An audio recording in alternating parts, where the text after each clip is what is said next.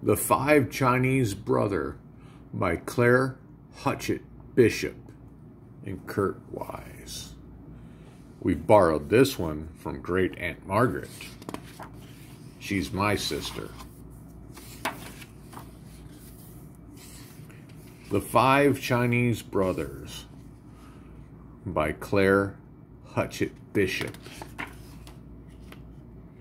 To my father, who made me love China, and to my mother, a born storyteller.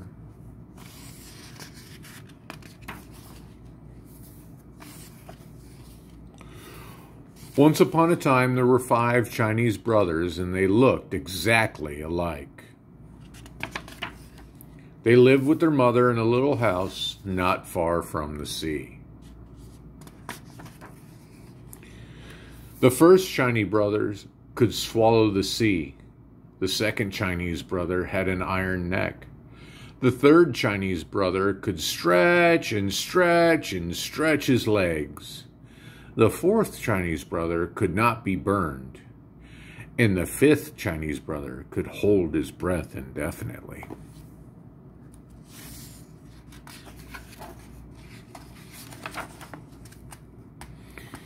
Every morning, the first brother would go fishing, and whatever weather, he would come back to the village with beautiful and rare fish, which he had caught and could sell to market for a very good price.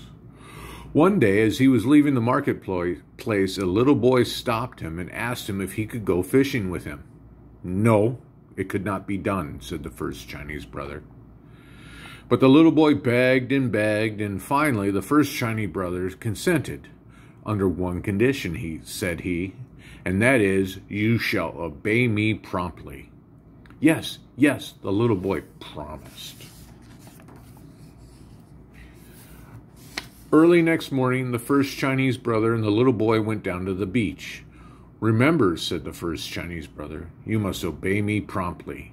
When I make a sign for you to come back, you must come at once. Yes, yes, the little boy promised. The first Chinese brother swallowed the sea. And all the fish were left high and dry at the bottom of the sea, and all the treasures of the sea lay uncovered. The little boy was delighted. He ran here and there, stuffing his pockets with strange pebbles, extraordinary shells, and fantastic algae.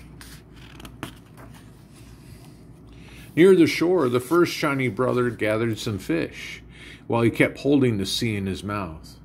Presently he grew tired. It is very hard to hold the sea.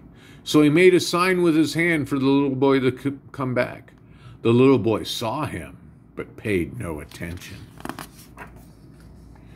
He's still holding the sea. He's getting tired. He's holding the sea. He's holding the sea. He's holding it.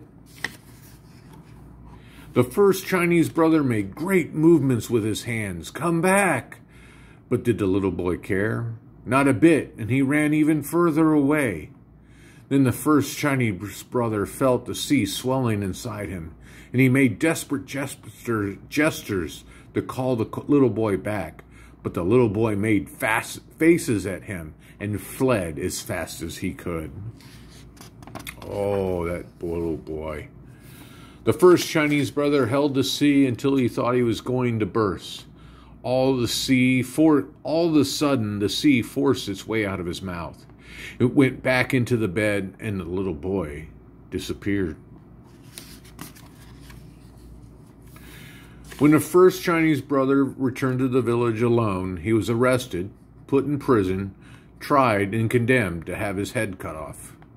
On the morning of his execution, he said to the judge, your Honor, will you allow me to go and bid my mother goodbye? It is only fair, said the judge. So the first Chinese brother went home, and the second Chinese brother came back in his place. All the people were assembled on the village square to witness the execution. The executioner took his sword and struck a mighty blow.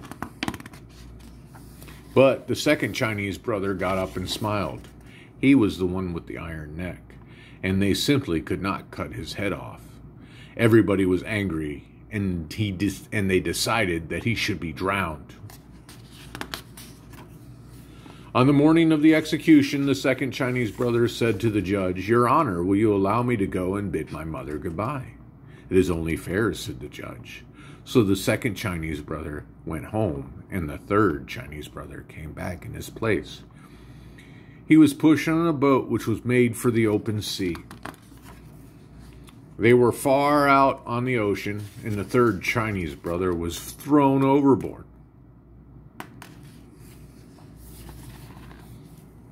But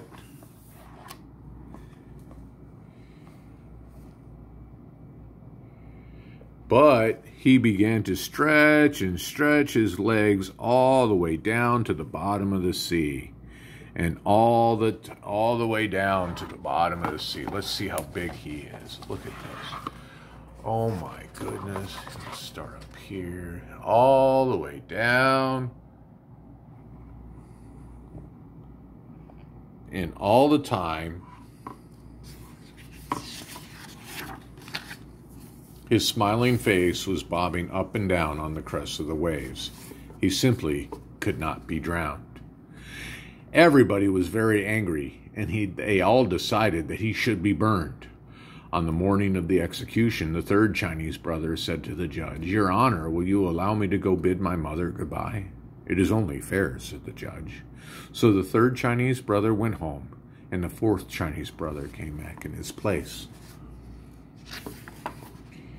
He was tied to the stake, the fire was set to it, and all the people stood around watching it. In the midst of the flame, they heard him say, This is quite pleasant. Bring some more wood, the people cried. The fire roared higher. Now this is quite comfortable, said the fourth Chinese brother, for he was the one who could not be burned and everybody was getting more and more angry every minute, and they decided to smother him.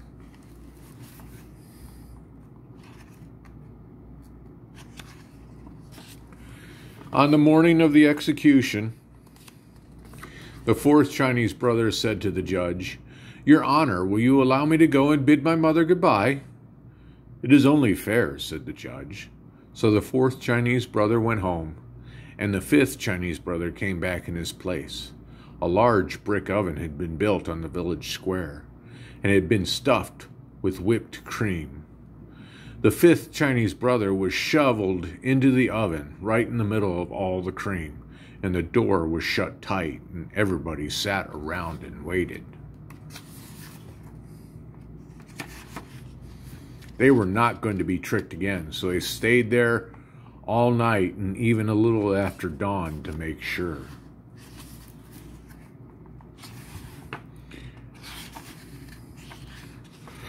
They opened the door and they pulled him out, and he shook himself and said, My, that was a good sleep. Everybody stared open mouthed and round eyed, but the judge stepped forward and said, We have tried to get you rid of you in every possible way, and somehow it cannot be done.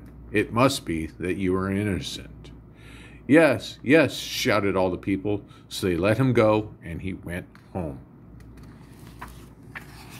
And the five Chinese brother and their mother all lived happily for many for hap, lived together happily for many years.